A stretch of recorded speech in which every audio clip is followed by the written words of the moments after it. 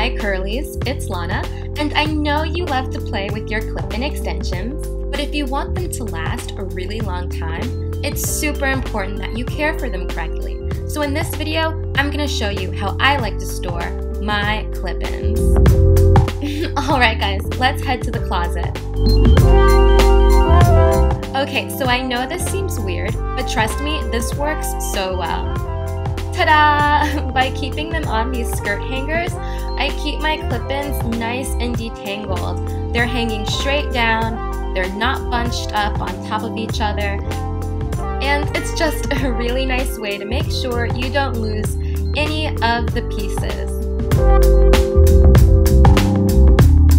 Now, if you don't have a skirt hanger, you can use a regular hanger.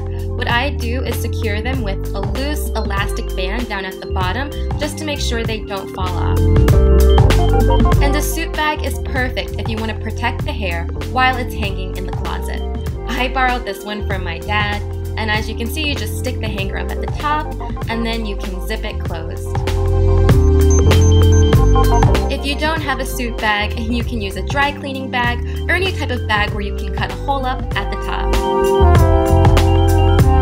What I like about the hanger method the best is that it's keeping your clip-in extensions nice and detangled for next time's use.